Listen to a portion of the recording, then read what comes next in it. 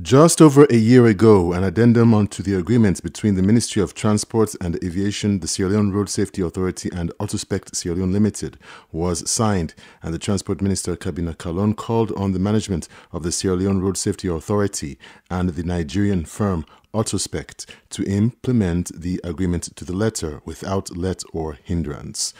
SLBC learned that in a letter dated January 23, 2019, the group of companies responsible for the manufacture of Sierra Leone's license plates was informed that Autospect would commence in a couple of months, not exceeding one calendar year. Apparently, knowing that their time is up, the group comprised of International Association Services, Sierra Trading Company, and Bilhak Trading and Construction Systems appealed to the media for more introspection into their plight and the fate of their workforce. The three companies presented their case to journalists at SLAJ headquarters, where they asserted having no knowledge of any bidding done previously or other procurement procedures where they were invited to tender a bid. Representing the International Association Services within the three company consortium, Samuel Johnson said they were up to date in their performance, delivery, and state obligations such as payment of GST,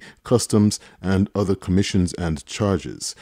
Mr. Johnson did, however, acknowledge that no written agreement had been in force since 9th October 2014, but notwithstanding, there was no blemish on the 23 year record of their service as suppliers of license plates for all vehicle categories. He said that despite currency fluctuations, their group had been able to maintain the license price at 75,000 leones per issuance.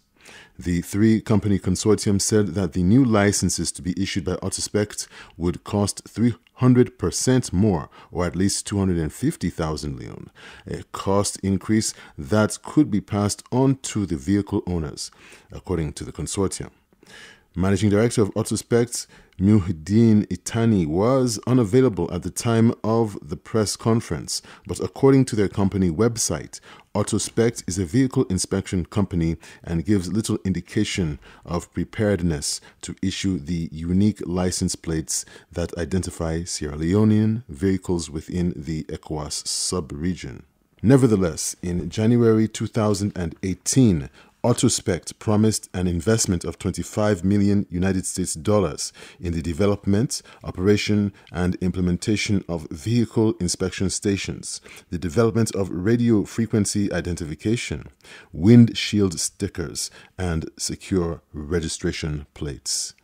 Presently, the license plates are manufactured on the premises of the SLRSA, for which rent and utilities are paid by the consortium. The downing of their tools will create a backlog of license plates, owing to the output capacity of just 30 license plates per day. What still remains unclear is how the transition from the three company consortium to Autospect will be conducted without creating an operational constraint for vehicle owners who wish to obtain or renew licenses and license plates.